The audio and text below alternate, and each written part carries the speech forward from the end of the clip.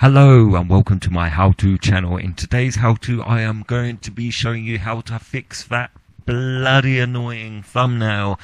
Won't change when you're trying to upload it and then it just flicks it back to the same. Well, I'm going to explain what the problem is.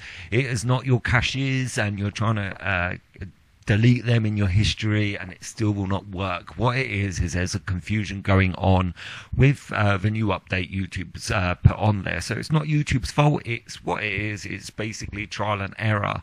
So this is how to fix it once and for all. Go to your edit. So we're going to wait for that to load up. Now on here, this is my thumbnail, what I've got, but you're trying to upload another one. I'm going to show you how to correct this so I'm not going to mess around by changing it. What I'm going to do is show you straight away how to make the changes fix. Go to one of your old thumbnails, you click on that, you go to save changes. Now this should disappear if it hasn't, don't worry, it will do eventually. Go down to the bottom all the time making sure that all changes are being saved. Once you've done that, go up to your little uh, picture and you go to Creator Studio. Wait for it to load up.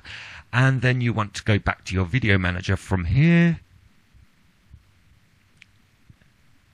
Wait for it to load up. And uh, as you can see it's changed. It might not have changed for you. Don't worry. This is the whole point. and then you want to go back into your editor. Wait for it to load up.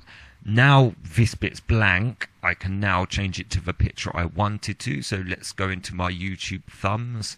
And I want it to change to that. Okay wait for it to upload that's all done. I'm happy with that.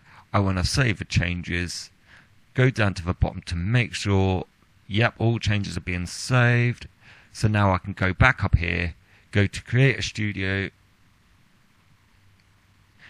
It's not changed there. Go to video manager.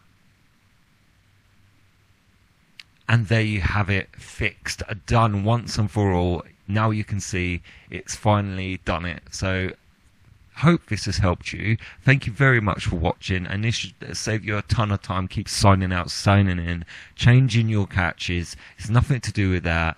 Keep keep it up. Uh, please like and subscribe. Any other videos or problems you've got, please leave a message in the description. And uh, don't be afraid to ask me for any other video tutorials. Uh, don't forget, check out my channel to see all my other tutorials on other stuff. And thank you for watching and good.